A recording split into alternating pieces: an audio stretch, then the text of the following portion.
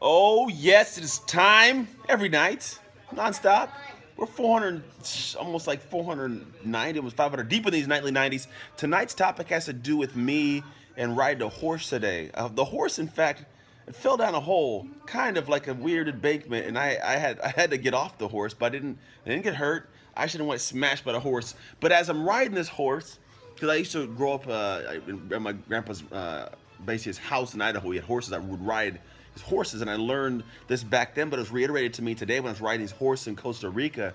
Is essentially like you basically get on a horse. I don't know if you've ridden a horse before. If you haven't, you get on a horse and you have these reins, and these reins control where the horse goes.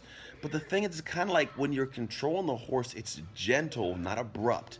And so the horse is going in a certain direction, and as it starts to veer off the path, you kind of just slowly, like almost lay the reins on the opposite side of its neck. You kind of get not even a tug, but kind of put some pressure so they know that you're pulling that way, and the horse will go back in the direction it's supposed to go. Not only that, if you need to stop, you can pull back on the reins, not abruptly, but slowly, and stop to be able to see, hey, where's everybody else going? Where should I go? And then continue on. The same way it happens with our lives when we're kind of going down this path, because there's a path you're set out to go on right now. You may be walking on a path to, uh, you know, maybe it's school, you're trying to get yourself a great job. Maybe you're kind of going up the ladder in your career, or maybe you're saying you're going on a path right now to chase this dream of a vision you had to make this business real, or this dream real, or whatever it is to make real.